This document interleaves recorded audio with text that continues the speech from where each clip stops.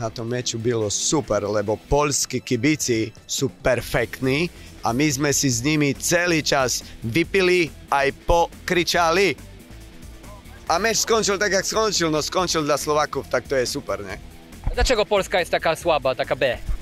Polska nie je slabá, Polska je dobrá, ale prehrála, zgubila so Slovákmi, no také, také je žičie, také je žičie. A kto wyjdzie z naszej grupy? Słowacja i kto? Grupy je Polsko a Slovensko.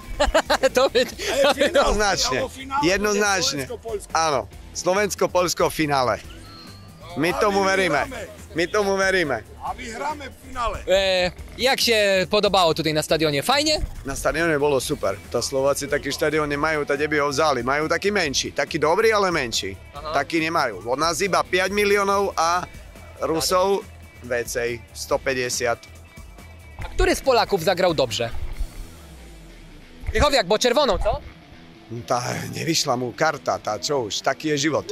Ale Levandovský bol ustražený a to bola, to bola naša úloha. A Škriniar ho dal dole a ešte dal aj gol.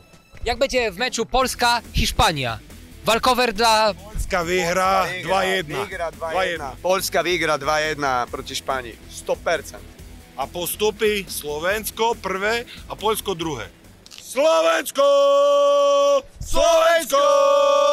Heja, heja, heja, Slovensko! Slovensko!